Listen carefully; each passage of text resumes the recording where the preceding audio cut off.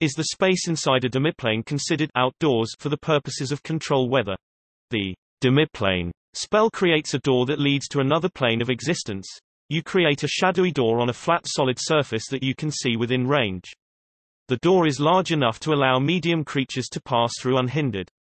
When opened, the door leads to a demiplane that appears to be an empty room 30 feet in each dimension, made of wood or stone.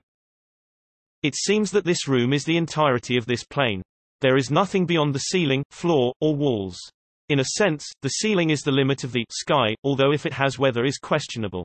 Given all this, is the space inside a demiplane considered outdoors for the purposes of the control weather spell? Control weather requires that you must be outdoors to cast this spell.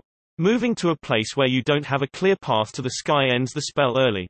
Hashtag no, you cannot cast control weather inside a room. As you've quoted, your demiplane is a room made of wood or stone. When there are no mechanical in rules definitions, we generally go with the normal language.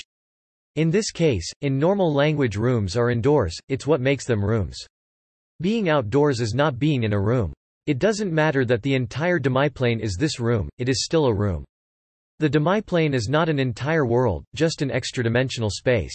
Hash hashtag comparison to another extra-dimensional spell. This is similar to Mordenkainen's Magnificent Mansion, which also creates an extra-dimensional space.